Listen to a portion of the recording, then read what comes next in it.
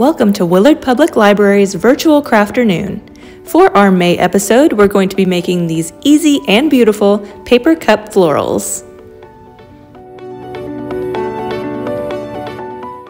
As always, craft kits for this project are available at the Adult Services Desk at Willard Public Library while supplies last. Each kit includes one 3 ounce paper ice cream cup, but you can use practically any small paper cup for this project. It will also include about 75 to 80 2 inch paper squares for the petals. If you're doing this project at home, I highly suggest using just regular thin paper instead of thick cardstock. You will also need to gather up some glue, either liquid glue or a glue stick is fine, and a pair of scissors. Start by carefully poking a hole in the bottom of your paper cup. Then proceed to rip out the base just like this. It doesn't have to be pretty.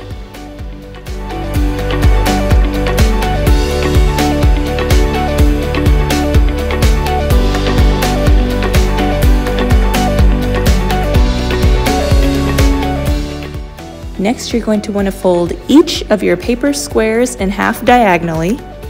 Then using your scissors, round off that top corner.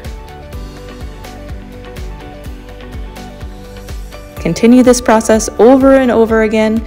If you want to, you can layer your papers on top of each other and do a couple at a time. Now you're ready to start assembling your flower.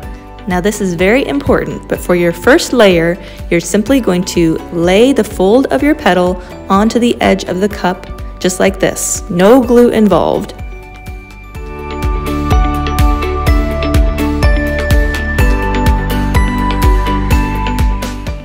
Now that you have your first unglued layer down, you're going to take your glue and put a small line around the top of those petals.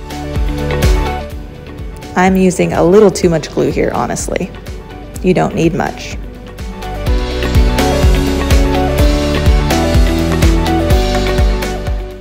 Layer more petals on top and just continue with that same process.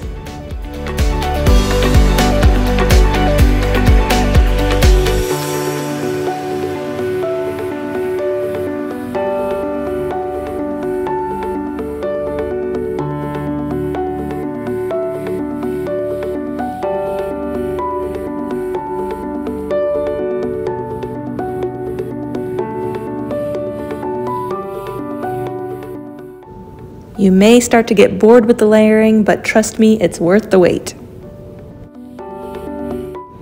After a while, you should notice that the center of your flower is getting smaller and smaller. At this point, I decided to add in some darker purple petals just to give my flower a little more dimension. You can do whatever you want.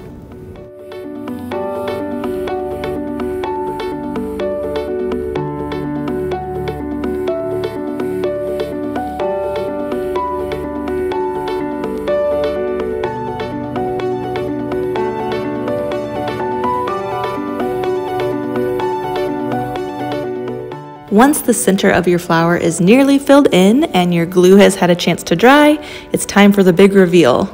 Shimmy your paper cup out of the flower and voila, there you have it. Spruce up your flower with a few green leaves, or you could even use that paper cup as a flower pot. The possibilities are endless. Thanks for watching.